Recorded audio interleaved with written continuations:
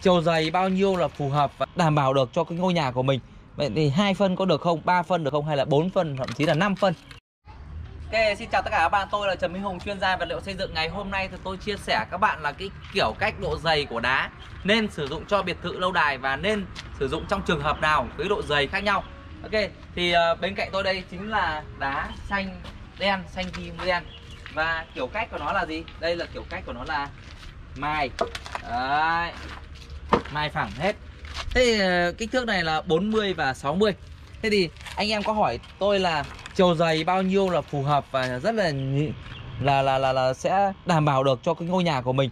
Vậy thì hai phân có được không, ba phân được không hay là bốn phân thậm chí là 5 phân đúng không ạ? Thế thì nhiều anh em có hỏi tôi như vậy. Thế thì với những cái trường hợp mà càng dày ấy, thì lại càng đắt và càng mỏng thì đá nó lại cũng không đảm bảo. Đấy. Thế thì cái chất lượng của xanh đen như này chia sẻ với anh em nếu mà anh em chỉ gọi là những xe con, dòng xe con tầm khoảng dăm bảy tấn chẳng hạn xe xe tải 5 7 tấn thì bạn có thể sử dụng cái loại đá là chiều dày 3 phân, xanh đen xanh đen 3 phân, đúng không? Thì nhiều anh em có thể là quá cẩn thận khi mà sử dụng các loại đá quá dày là 4 phân như ở đây. Đây là 4 phân. Đấy, 4 phân. Đây anh em quay những cái cụ thể đây. Đây là 4 thậm chí là 5 phân, đúng không? 5 phân. Đấy. Thế thì nhiều anh em có hỏi là bây giờ nên sử dụng loại 5 phân cho nó tốt chứ? Đương nhiên thì càng dày thì càng tốt. Nhưng mà cái việc đầu tiên ấy thì nó sẽ đắt tiền hơn là cái chủng loại à, tức là cái đá đã lại đắt hơn.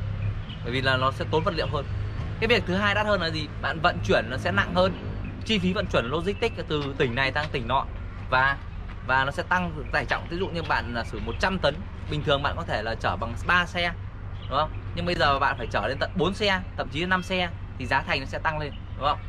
Đó cái việc thứ ba ấy là cái nhược điểm là khi mà cái người, người thợ bắt đầu thi công sẽ rất là khó khăn hơn mà cắt đá nó sẽ khó hơn tốn thời gian hơn tốn công hơn tốn cái uh, vật liệu cắt hơn.